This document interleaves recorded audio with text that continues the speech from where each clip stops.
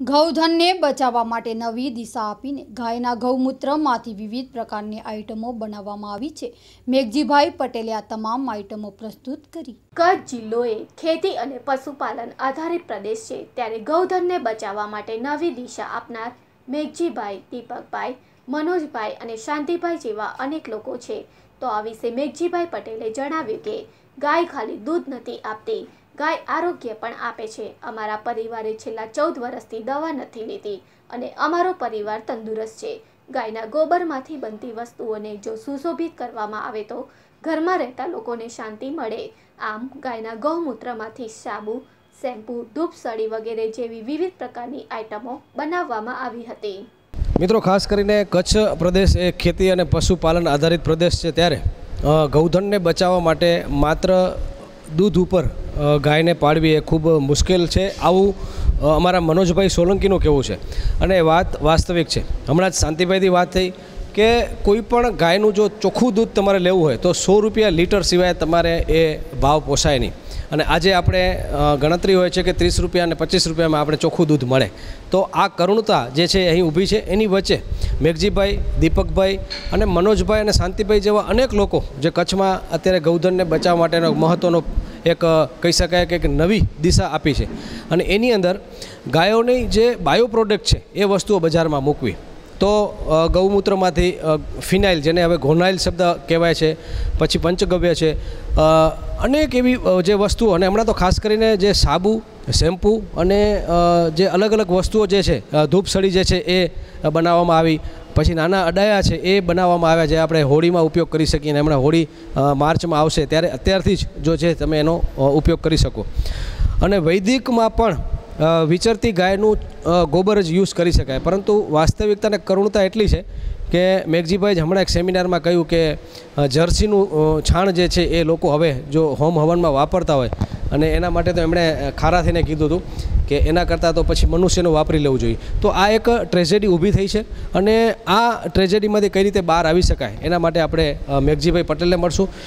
એટલે બધાના સંબંધો સારા હતા, પરિવારો મોટા એક સાથે રહેતા હતા ભાઈ ભાઈ વચ્ચે ગાઢ સંબંધો હતા.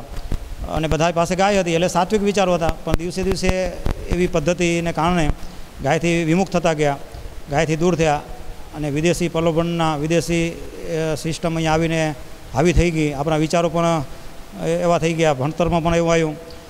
તો ધીમે ધીમે ગાયથી દૂર થયા, પ્રકૃતિથી દૂર થયા. તો બધા સમસ્યામાં છે. તો અમને ફાયદો છે કે અમે કોઈથી બીમાર નથી પડતા, ક્યારે થાકતા નથી, ક્યારે દવાખાને નથી જવું પડતું, કે શહેરના લોકો ગાયના જે પંચગવ્યોમાંથી જે વિશેષ બધી વસ્તુ બને એમ, દાખલા તરીકે સાબુ છે, શેમ્પૂ છે, ફિનાઇલ છે, દંતમંજન છે, માલિશ તેલ છે, કેશ તેલ, અડાયા ધૂપ બધી આવી અનેક પ્રકારની, દાખલા તરીકે રાખરી મનોજભાઈએ જે બનાવી અને ખૂબ સાત્વિક રાખડી ભાઈઓના હાથમાં બંધાય.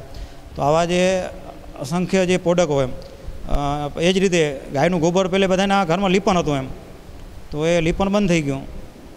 અને ટાઇલ્સો આવી ગઈ, સારા કલરો આવી ગયા, તો અને ઇલેક્ટ્રોનિક ઉપકરણો ખૂબ વધ્યા ઘરોમાં.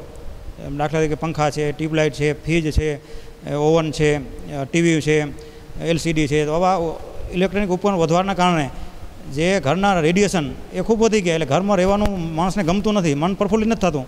ઘરમાં એસી લગાવે, ઠંડક મળે, પણ આત્માને જે શાંતિ થવી જોઈએ એ નથી થતી.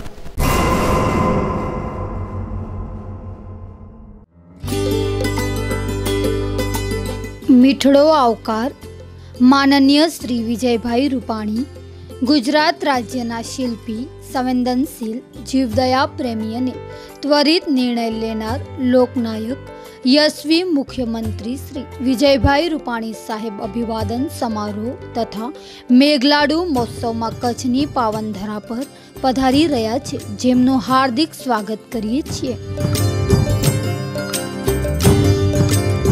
ગંગાબેન કલ્યાણજી સેંઘાણી પ્રમુખ શ્રી માંડવી તાલુકા પંચાયત, રાણસીભાઈ હરજીભાઈ ગઢવી, ઉપપ્રમુખ શ્રી માંડવી તાલુકા પંચાયત, પ્રદ્યુમનસિંહ એસ જાડેજા, કારોબારી ચેરમેન શ્રી માંડવી તાલુકા પંચાયત, કેશવજીભાઈ વિરોશિયા, ચેરમેન શ્રી સામાજિક ન્યાય સમિતિ, માંડવી તાલુકા પંચાયત તેમજ માંડવી તાલુકા પંચાયત સદસ્યગણ તથા પરિવાર.